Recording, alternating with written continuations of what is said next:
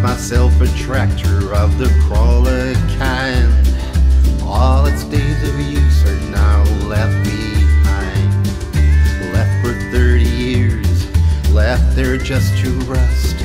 Engine it is seized, a lot of parts are bust. Do it bit by bit, till I finish my restore.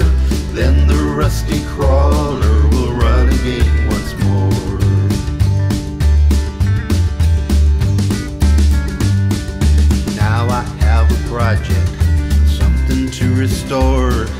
Then the rusty crawler will run again once more. Pistons, they are solid, locked inside the block. Won't go up and down, they won't even rock. Do it bit by bit till I finish my restore.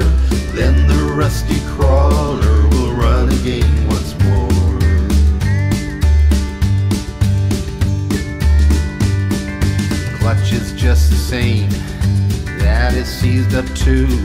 To make it run again will take a month or two. Put it all on YouTube, make a video, then everyone can see my tractor addict show.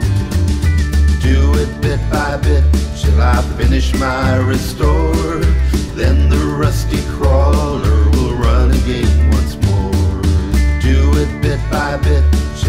finish my restore. Then the rusty